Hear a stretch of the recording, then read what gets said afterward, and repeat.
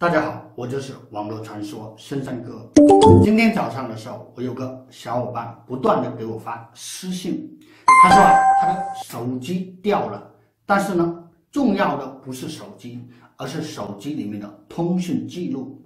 因为的话，他是做业务员的，那些电话号码对他来说非常的重要，所以我考虑到很多人不知道怎么样。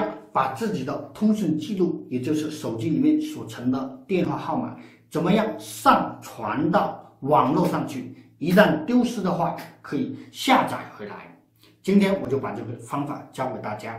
其实啊，非常的简单，我们只要用 QQ 就可以了。我们只要打开 QQ，然后再点击头像，再点击设置。好，看到没有？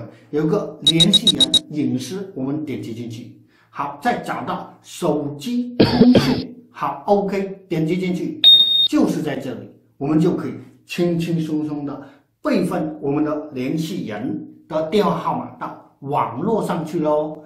当然，一旦我们的手机丢失或者号码找不到，我们就可以重新恢复下载回我们的电话号码。这个方法是不是对很多人非常的实用？要是你觉得有用，就赶紧。